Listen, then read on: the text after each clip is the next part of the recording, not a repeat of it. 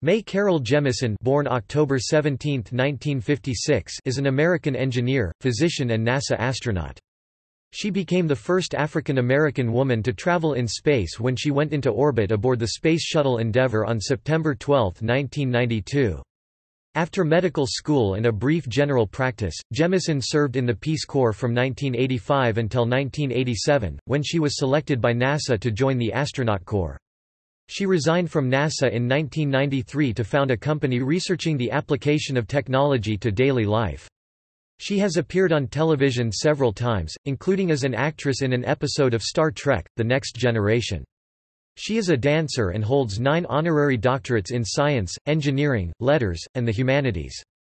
She is the current principal of the 100-year Starship Organization.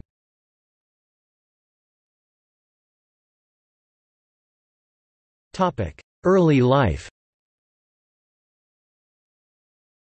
Mae Carol Jemison was born in Decatur, Alabama, on October 17, 1956, the youngest child of Charlie Jemison and Dorothy Green.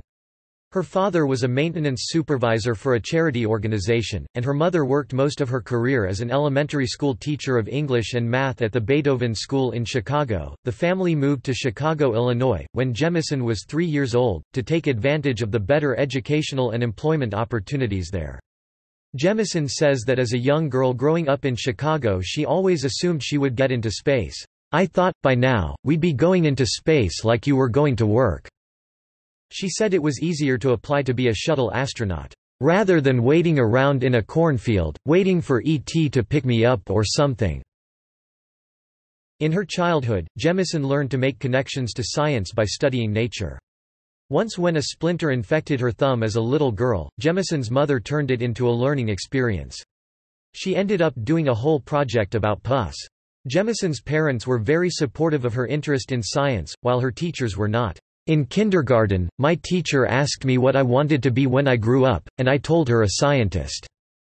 Jemison says, "...she said, don't you mean a nurse? Now, there's nothing wrong with being a nurse, but that's not what I wanted to be." In an interview with Makers, she further explains how her sheer interest in science was not accepted. Growing up, I was just like every other kid. I loved space, stars and dinosaurs. I always knew I wanted to explore. At the time of the Apollo airing, everybody was thrilled about space, but I remember being irritated that there were no women astronauts. People tried to explain that to me, and I did not buy it. Jemison says she was inspired by Martin Luther King Jr. To her King's dream was not an elusive fantasy but a call to action. Too often people paint him like Santa, smiley and inoffensive, says Jemison. But when I think of Martin Luther King, I think of attitude, audacity, and bravery." Jemison thinks the civil rights movement was all about breaking down the barriers to human potential. The best way to make dreams come true is to wake up. Jemison began dancing at the age of 11. I loved dancing. I took all kinds of dance. African dancing, ballet, jazz, modern—even Japanese dancing. I wanted to become a professional dancer, said Jemison. At the age of 14, she auditioned for the leading role of Maria in West Side Story. She did not get the part but Jemison's dancing skills did get her into the line-up as a background dancer. I had a problem with the singing but I danced and acted pretty well enough for them to choose me. I think that people sometimes limit themselves and so rob themselves of the opportunity to realize their dreams. For me, I love the sciences and I also love the arts," says Jemison. Quote, I saw the theater as an outlet for this passion and so I decided to pursue this dream. Later during her senior year in college, she was trying to decide whether to go to New York to medical school or become a professional dancer. Her mother told her, You can always dance if you're a doctor, but you can't doctor if you're a dancer.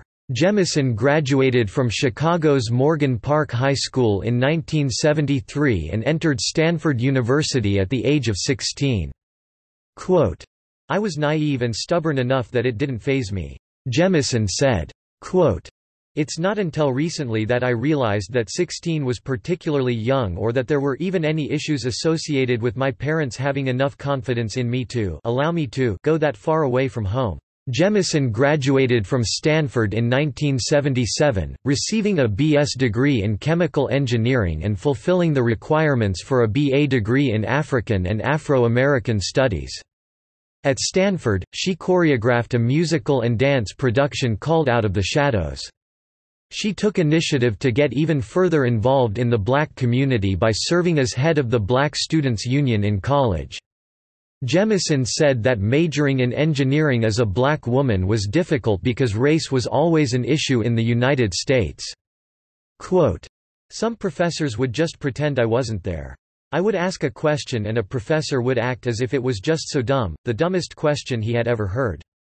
Then, when a white guy would ask the same question, the professor would say, that's a very astute observation. Quote, in an interview with the Des Moines Register in 2008 Jemison said that it was difficult to go to Stanford at 16, but thinks her youthful arrogance may have helped her. Quote, I did have to say, I'm going to do this and I don't give a crap damn. She points out the unfairness of the necessity for women and minorities to have that attitude in some fields. Jemison obtained her MD degree in 1981 at Cornell Medical College.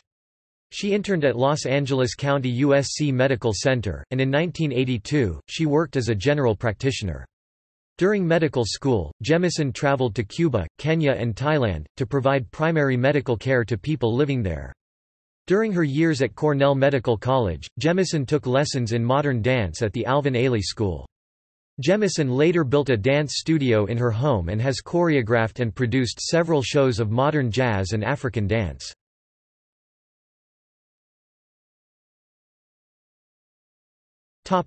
Peace Corps After completing her medical training, Jemison joined the staff of the Peace Corps and served as a Peace Corps medical officer from 1983 to 1985 responsible for the health of Peace Corps volunteers serving in Liberia and Sierra Leone. Jemison's work in the Peace Corps included supervising the pharmacy, laboratory, medical staff as well as providing medical care, writing self-care manuals, and developing and implementing guidelines for health and safety issues. Jemison also worked with the Center for Disease Control (CDC), helping with research for various vaccines. Once while serving as a doctor for the Peace Corps, a volunteer became seriously ill, and a doctor diagnosed malaria. The volunteer's condition progressively worsened, and Jemison was sure it was meningitis with life-threatening complications that could not be treated in Sierra Leone. Jemison called for an Air Force hospital plane based in Germany for a military medical evacuation at a cost of $80,000. The embassy questioned whether Jemison had the authority to give such an order, but she told them she did not need anyone's permission for a medical decision. By the time the plane reached Germany with Jemison and the volunteer on board, she had been up with the patient for 56 hours. The patient survived.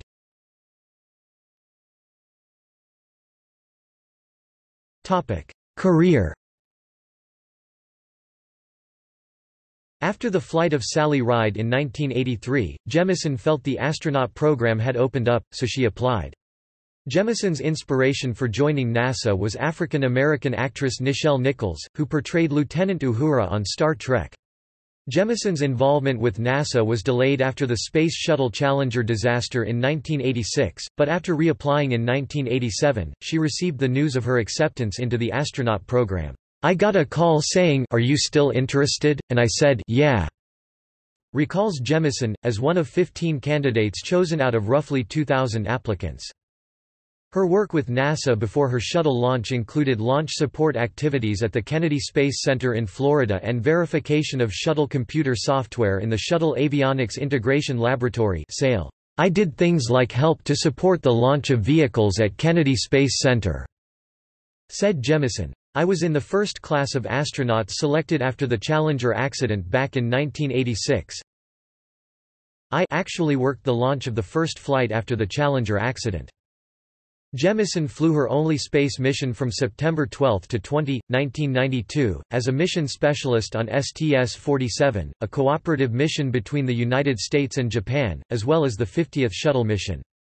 Jemison was a co-investigator of two bone cell research experiments, one of 43 investigations that were done on STS-47. Jemison also conducted experiments on weightlessness and motion sickness on herself and six other crew members. The first thing I saw from space was Chicago, my hometown. Said Jemison, I was working on the middeck where there aren't many windows, and as we passed over Chicago, the commander called me up to the flight deck. It was such a significant moment because since I was a little girl I had always assumed I would go into space." Jemison added. Despite NASA's rigid protocol, Jemison would begin each shift with a salute that only a Trekkie could appreciate. Hailing frequencies open. She could be heard repeating throughout the eight-day mission. Because of her love of dance and as a salute to creativity, Jemison took a poster from the Alvin Ailey American Dance Theater along with her on the flight. Many people do not see a connection between science and dance, says Jemison. But I consider them both to be expressions of the boundless creativity that people have to share with one another.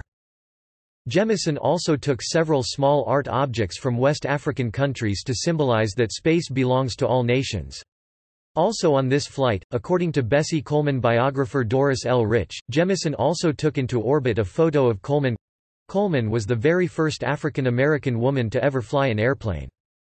STS-47 was a cooperative mission between the United States and Japan that included 44 Japanese and United States life science and materials processing experiments. Jemison logged 190 hours, 30 minutes, 23 seconds in space. One of the experiments she supervised on the mission was to induce female frogs to ovulate, fertilize the eggs and then see how tadpoles developed in zero gravity.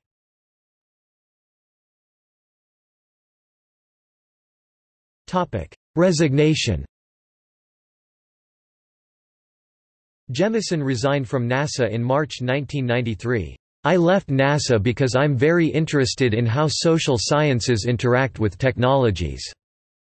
Jemison said, People always think of technology as something having silicon in it. But a pencil is technology. Any language is technology. Technology is a tool we use to accomplish a particular task and when one talks about appropriate technology in developing countries, appropriate may mean anything from fire to solar electricity. NASA training manager and author Homer Hickam later expressed some regret that she had departed, saying, NASA had spent a lot of money training her, she also filled a niche, obviously, being a woman of color. Hickam had trained Jemison for her flight on Spacelab J, STS-47. In an interview with the Des Moines Register on October 16, 2008, Jemison said that she was not driven to be the first black woman to go into space. I wouldn't have cared less if 2,000 people had gone up before me. I would still have had my hand up, I want to do this.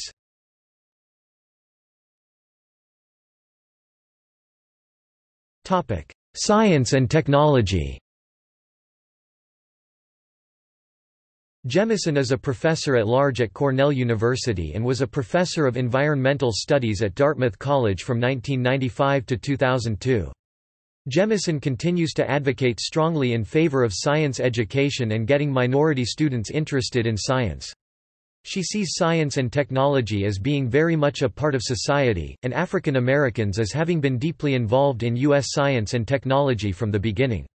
She has been a member of various scientific organizations, such as the American Medical Association, the American Chemical Society, the Association for Space Explorers and the American Association for the Advancement of Science. Additionally, she served on the board of directors of the World Sickle Cell Foundation from 1990 to 1992. In 1993, Jemison founded her own company, the Jemison Group, that researches, markets, and develops science and technology for daily life. Jemison founded the Dorothy Jemison Foundation for Excellence and named the foundation in honor of her mother. My parents were the best scientists I knew, Jemison said, because they were always asking questions. One of the projects of Jemison's foundation is the Earth We Share TEWS, an international science camp where students, ages 12 to 16, work to solve current global problems, like, how many people can the Earth hold? and predict the hot public stocks of the year 2030. The four-week residential program helps students build critical thinking and problem-solving skills through an experiential curriculum. Camps have been held at Dartmouth College, Colorado School of Mines, Choate Rosemary Hall and other sites around the United States. TEWS was introduced internationally to high school students in day programs in South Africa and Tunisia. In 1999, TEWS was expanded overseas to adults at the Zermatt Creativity and Leadership Symposium held in Switzerland. In 1999, Jemison founded Biosentient Corp and has been working to develop a portable device that allows mobile monitoring of the involuntary nervous system. Biosentient has obtained the license to commercialize NASA's space age technology known as Autogenic Feedback Training Exercise AFTE, a patented technique that uses biofeedback and autogenic therapy to allow patients to monitor and control their physiology as a possible treatment for anxiety and stress-related disorders. Biosentient is examining AFTE as a treatment for anxiety, nausea, migraine and tension headaches, chronic pain, hypertension and hypotension, and stress related disorders. In 2012, Jemison made the winning bid for the DARPA 100 year Starship project through the Dorothy Jemison Foundation for Excellence. The Dorothy Jemison Foundation for Excellence was awarded a $500,000 grant for further work. The new organization maintained the organizational name 100 Year Starship. Jemison is the current principal of the 100-year Starship. In 2018, she collaborated with Bayer and National 4-H Council for the initiative called Science Matters, which was aimed at encouraging young children to understand and pursue agricultural sciences.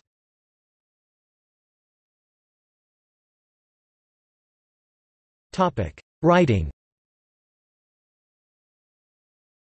Jemison's first book, Find Where the Wind Goes 2001, is a memoir of her life written for children. She describes her childhood, her time at Stanford, in the Peace Corps and as an astronaut. School Library Journal found the stories about her earlier life to be the most appealing. Book Report found that the explanation of her encounters with biased professors and their treatment of her on the basis of stereotypes, rather than intelligence, are presented very realistically. Her True Book series, published in 2013, is co-authored with Dana Meachen Rau. Each book in the series has a Find the Truth challenge, in which the answer is revealed at the end of the story. School Library Journal found the series to be properly tantalizing surveys of our local stellar neighborhood and its ongoing exploration.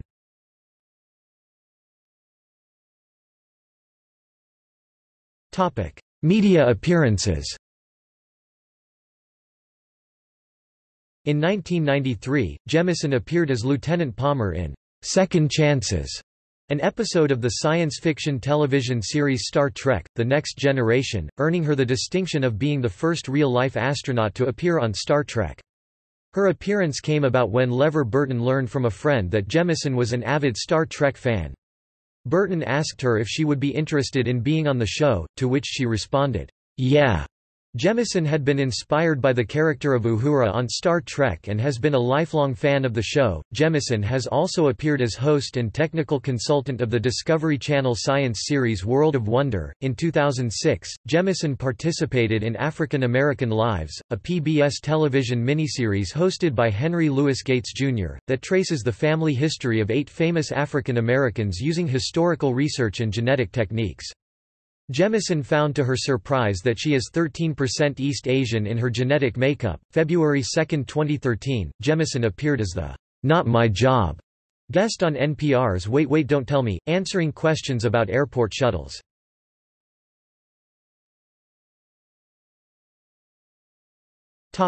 Other public appearances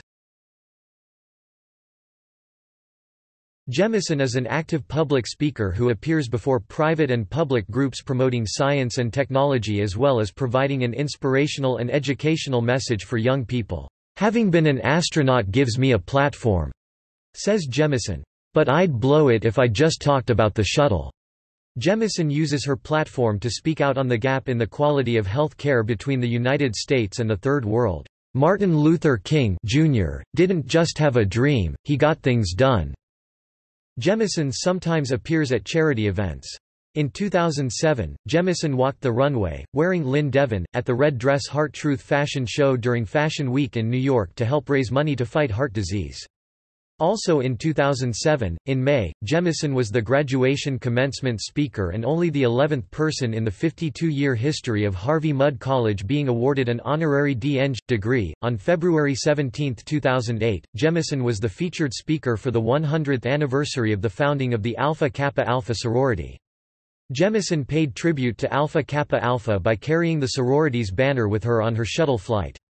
Jemison's space suit is a part of the sorority's National Traveling Centennial exhibit. Jemison is an honorary member of Alpha Kappa Alpha, a sorority founded in 1908 at Howard University to address the social issues of the time and promote scholarship among black women.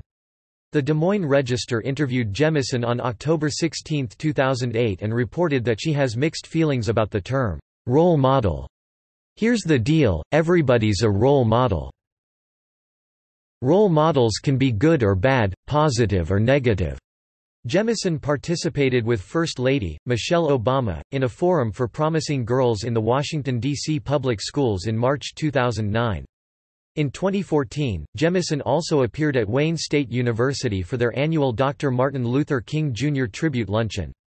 In 2016, she partnered with Bayer Corporation to promote and advance science literacy in schools, emphasizing hands-on experimentation. She took part in the Michigan State University's lecture series, Slavery to Freedom: An American Odyssey, in February 2017. In May 2017, Jemison gave the commencement speech at Rice University.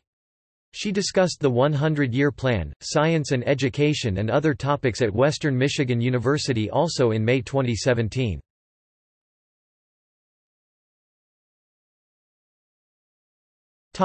Other news In the spring of 1996, Jemison filed a complaint against a Texas police officer, accusing him of police brutality during a traffic stop that ended in her arrest. She was pulled over by Nassau Bay, Texas officer Henry Hughes for allegedly making an illegal U-turn and arrested after Hughes learned of an outstanding warrant on Jemison for a speeding ticket. In the process of arresting her, the officer twisted her wrist and forced her to the ground. In her complaint, Jemison said the officer physically and emotionally mistreated her. Jemison's attorney said she believed she'd already paid the speeding ticket years ago. She spent several hours in jail and was treated at an area hospital after release for deep bruises and a head injury. Jemison said in a televised interview that the incident has altered her feelings about police there. I always felt safe and comfortable around the police. I don't feel that way anymore at Nassau Bay and that's a shame." She said. Jemison filed a lawsuit against the city of Nassau Bay and Officer Hughes. In 2007, diagnostic test provider Gen Probe Inc. announced that they would not accept the resignation of Jemison from their board of directors. Jemison had failed to be re-elected to the board in a vote of the shareholders of the company at the company's May 31 annual stockholders meeting. The company said it believed that Jemison's failed re-election was the result of a recommendation by advisory firm Institutional Shareholder Services that shareholders vote against her due to her poor attendance at board meetings. Gen Probe determined that Jemison's two absences in 2006 were for valid reasons and said Jemison had attended all regular and special board and committee meetings since September. In 2017, a Women of NASA Lego set went on sale featuring among other things mini-figurines of Jemison, Margaret Hamilton, Sally Ride, and Nancy Grace Roman.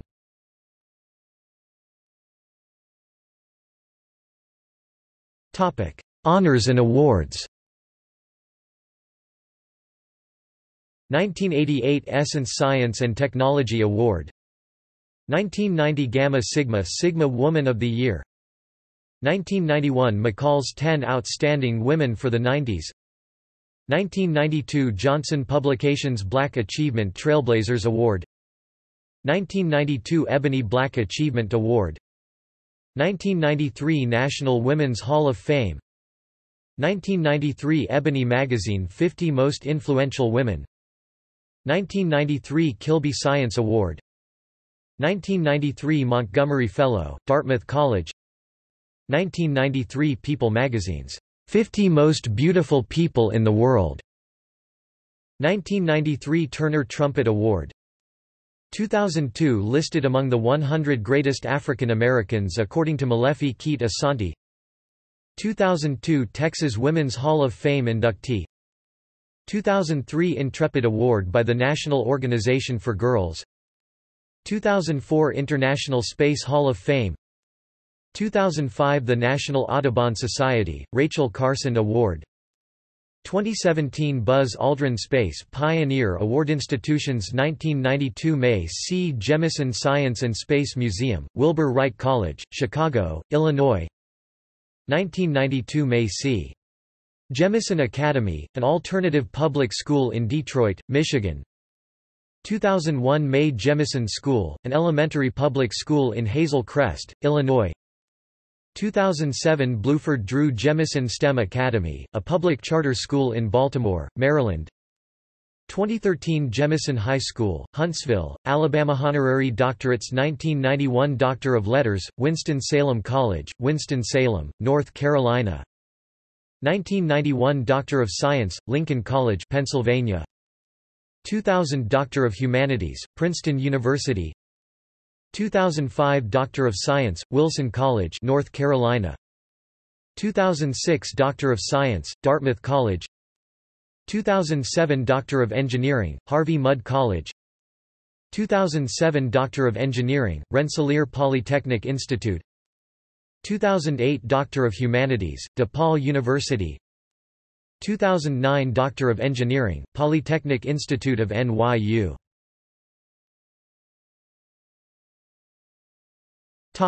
Filmography Star Trek: The Next Generation 1993 Lieutenant Palmer episode Second Chances. Susan B. Anthony Slept Here 1995 herself. Star Trek 30 Years and Beyond 1996 herself. The New Explorers 1998 episode Endeavor how William Shatner Changed the World 2005 herself. African American Lives 2006 herself. No Gravity 2011 herself. The Real 2016 herself. Topic Publications. Jemison, Mae 2001 Find Where the Wind Goes Moments from My Life New York, Scholastic. ISBN 978-0-439-13196-4. OCLC 44548911. Jemison, Mae 2001. S.E.E.ing The Future, Science, Engineering and Education PDF. Hanover, N.H., Dartmouth College. p. 56. Eric ed 464816. She contributed the piece, "'Outer Space, The Worldly Frontier' to the 2003 anthology Sisterhood is Forever, the women's anthology for a new millennium, edited by Robin Morgan. Jemison, Mae, Rau, Dana Meachen 2013. Journey Through Our Solar System True Books, Dr. Mae Jemison and 100-Year Starship. Scholastic. ISBN 978 0531240618. Jemison, Mae, Rau, Dana Meachen 2013. Discovering New Planets True Books, Dr. Mae Jemison and 100-Year Starship. Scholastic. ISBN 978-0531240632. Jemison, Mae, Rau, Dana Meachen 2013. Exploring Our Sun True Books, Dr. Mae Jemison and 100-Year Starship. Scholastic. ISBN 978-0531240625. Jemison, Mae, Rau, Dana Meachen 2013. The 100-Year Starship True Books, Dr. Mae Jemison and 100-Year Starship. Scholastic. ISBN 978-0531240601.